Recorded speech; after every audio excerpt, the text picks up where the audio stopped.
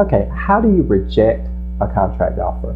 Well, generally, uh, it's the offeree receives the offer in any unequivocal uh, expression back to the offeror uh, that um, that the offeree does not express the, accept the terms of the agreement is sufficient. Okay, any reasonable method of expressing that back to the offeror.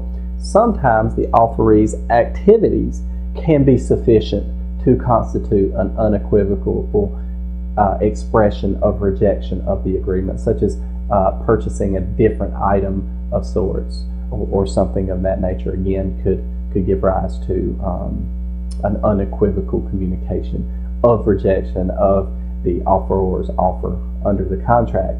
Uh, now, there are other situations where the uh, offeree can um, accept goods, for example, and then later reject those goods if they don't meet a certain standard. So the timing of the rejection of the offer will vary along uh, different, um, uh, depending on the nature of the contract and the expectation of the parties.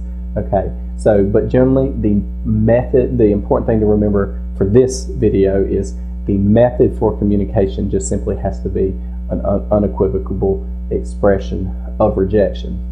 Under the uh, common law, a the inclusion of additional terms in the acceptance is an effective rejection.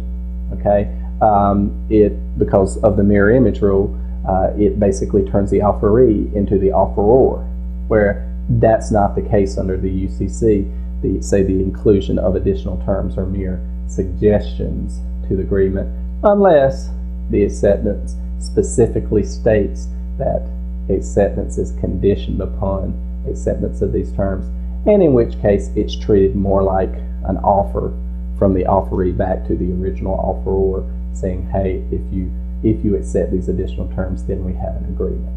Okay, so that's uh, that's rejection of uh, of an offer.